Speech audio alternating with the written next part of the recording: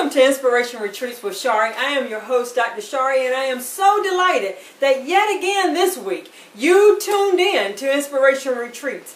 I am so happy that you love God's Word enough to take time to listen to it, even when you're not in a church, when you're sitting at your home or you're sitting at your desk or you may even be on the beach and you're listening to God's Word. God is so wonderful. He is so incredible. He is so awesome. I just love Him so much and I thank Him for you. Thank you, thank you, thank you. So let's get into God's Word. But you know what we do. First of all, we have to pray.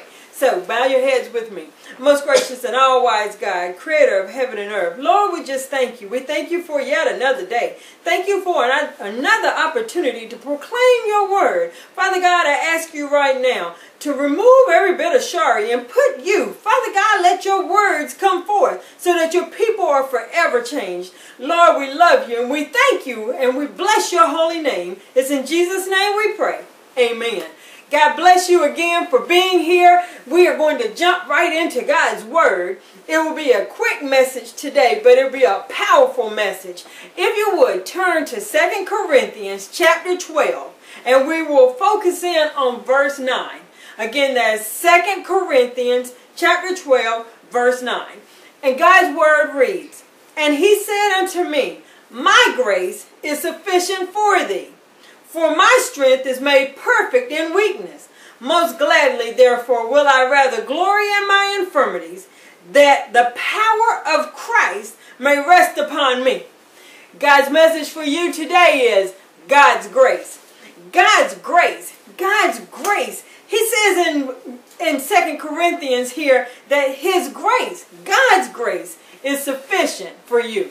God's grace. God, He is sufficient in all things. And so when we have His grace, then He gives us everything that we need right in Himself, in His grace. And so let's just look at the background here or what the setting is. Paul is actually writing to the church at Corinth. He's writing a letter to them because they weren't believing some of the things that he was telling them. He is saying to them that because of what he's been through, he could glory in himself. God had taken him up to the third heaven, not to the first heaven, that's the sky that we see, or the second heaven, which are the stars in the sky, that um, space. To the third heaven, he actually went to heaven. And so he said that, yes, he could glory in himself, but he didn't want um, the spotlight or the focus to be put on him. He wants it to be on God. He told them this just as an example so that they would know that God had given him special, special favor. Favor. God will give you special favor. All you have to do is believe in him. All you have to do is trust in his son Jesus Christ. And he will give you visions. He will give you revelations. And this is what he had done with Paul. And so Paul was writing to this Corinthian church so that they would be encouraged. Today, God is telling us, He has given us His Word. We can read His Holy Scriptures. We can read this epistle that Paul had written to the church at Corinth so that it gives us encouragement today. So, Paul had this thorn in his flesh. That means an infirmity. He had this in his flesh, in his body, and he believed it was to keep him humble. It was to keep him so that he knew that God is the one who is keeping him.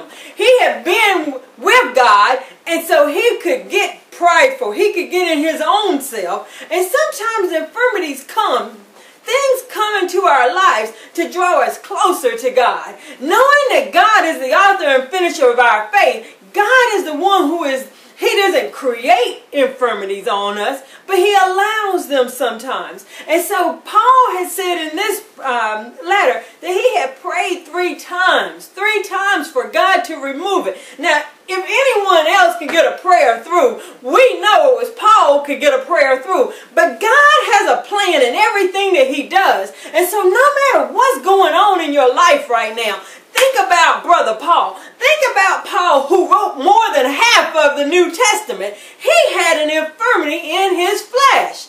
It was so that he knew that by his weakness, God was made strong. Through his weakness, he was made strong in God. God is all powerful. And so when we have God's strength, no matter what our weakness is, we are made strong. Hallelujah. So God, in his infinite wisdom, he said in that ninth verse, and God said unto me, as God said unto Paul, my grace is sufficient. That means it's okay. It's all, everything that you need. It is sufficient for thee. God's grace. For my strength is made perfect in weakness. God's strength is made perfect. You are perfected when you're weak. Anytime that you have enough money, you have enough brain power, you have enough strength in your body, then sometimes as humans, what ends up happening is we can get prideful. And so we get boastful or whatever. And we forget about God is the one who's actually doing it. And so this is what was happening. But God told him, For my strength is made perfect in weakness. When we as humans are weak, when we're at that point where we need God, we realize that we need God, that is when God is made strong. He stands up in us and his strength comes through us. So not in whatever we're doing, we know that it's God who is doing it. We realize that it's not we ourselves who are doing it. Praise God. And then verse, it continues on saying, Most gladly therefore will I rather glory in my infirmities, that the power of Christ may rest upon me. Instead of glorying in other things, in accomplishments, or even seeing the third heaven, instead of glorying in that, I'd rather glory in my infirmities. I'd rather glory in those tests and trials because in those infirmities, God is showing up and showing out. Jesus Christ will rest. He is our rest. He is our Sabbath rest. He's seated at the right hand of God right now, resting. And all we have to do is rest in Him. All we have to do is know that He's already completed it all. All our job is, is to rest. Rest in God. Hallelujah. Now, verse 10 says, Therefore, I take pleasure in infirmities, in reproaches, in necessities, in persecutions, in distresses, for Christ's sake. For when I am weak, then I am strong. When I am weak, my brothers, my sisters, when we are weak, when we're at our weakest, that's when we're strong. All we have to do is realize that when we're weak, that Jesus Christ will get the glory. When we're weak, we realize God is the one who is in control. When we are weak and we realize that, that's when we're made strong in Jesus Christ. Now, what is grace? Grace is that unmerited favor. It's not deserving. It's not anything that you have done that you can gain it. It's from God. God loves us so much. He loves you and he loves me so much that he gives us grace. And grace is Jesus Christ. But let's look at when the first mention of grace is in the Bible, all the way back in Genesis, the sixth chapter. It only took six chapters for God to realize that men were evil. That actually God didn't realize it then. He knew back in the Garden of Eden. But by the time the sixth chapter rolled around, evil, evil, evil, evil, evil was everywhere. It kind of reminds us of today. No matter when you turn on the news, you can be walking down the street, you can be shopping, you can be anywhere, and evil is happening all around us. But God said His grace is sufficient. Catch that today. His grace is sufficient for you and for me. In the sixth chapter of Genesis, this is when Noah, he said, let's read it together. It's the first mention in the Bible of grace. It's Genesis, the sixth chapter, the seventh verse. And the Lord said, I will destroy man whom I have created from the face of the earth. Now this is God speaking. It took six chapters for God to say, I will destroy man whom I have created from the face of the earth. Both man and beast and the creeping thing and the fowl of the air, for it repenteth me that I have made them. God said there's evil everywhere. And so he decided to destroy man. Now look at verse 8, the first mention of grace. But Noah found grace in the eyes of the Lord. Today, are you finding grace in the eyes of the Lord? God, He loves you. And He wants you to have His grace. Receive His grace today. So let's look at verse 9. These are the generations of Noah. Noah was a man, was a just man, and perfect in his generations. And Noah walked with God. Noah walked with God. That means he lived every day fellowshipping and having a relationship with God. He walked with God. In all of his ways, he acknowledged God, and God directed his paths. He directed his path to build an ark so that he and his family would be saved. He had given Noah a message, and he had given Noah the fortitude and the knowledge to build an ark. And so Noah, he was obedient. Hmm. Today, somebody needs to hear this so that they are obedient obedient to the word of God and do what God tells you to do. Every cubit, every foot, every meter, everything that God tells you to do, it exactly how he tells you to do it. And he will bless you. You will find grace in the eyes of the Lord. Hallelujah.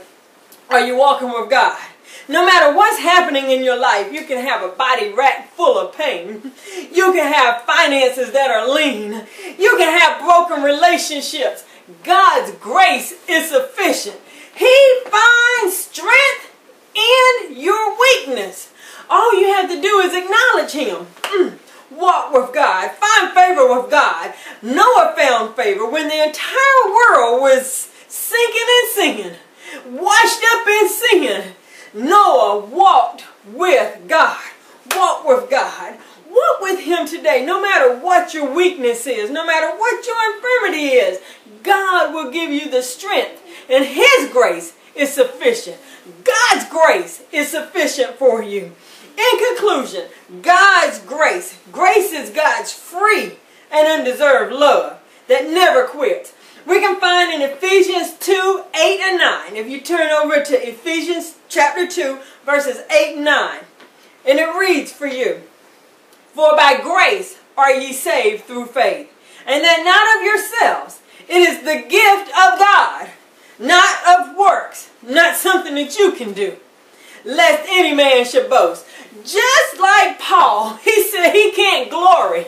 He can't glory in himself, but he can glory in his infirmities knowing that he is in Christ. And Christ is the one that will be glorified. So there is no need for us to boast. Nothing that we have done. It is God's grace, this unmerited favor. It is God who loves you today. So accept his gift. Accept his gift of love. He is pouring it out onto us. He has given us his son, Jesus Christ, who died on a cross, who bled and died, who suffered, bled, and died on a cross for you and me so that we would have a right to eternal life. He rose on the third day with all power in his hand. And so he has given to us that power when we receive it. Why don't you receive it today? Receive the strength of Jesus Christ. Receive the strength of God today. In your weakness, there is nothing that you can do that will be greater than God's grace. So receive it today.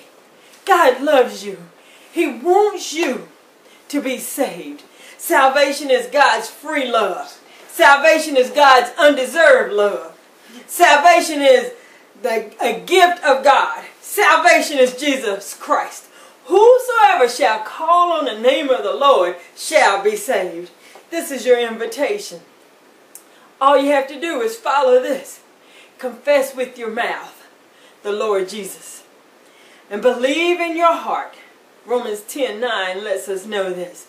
Confess the Lord Jesus. Confess with your mouth the Lord Jesus. And believe in your heart that God hath raised him from the dead. And thou shalt be saved. Because for with the heart man believeth unto righteousness, and with the mouth confession is made unto salvation.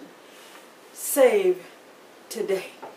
Salvation is yours today.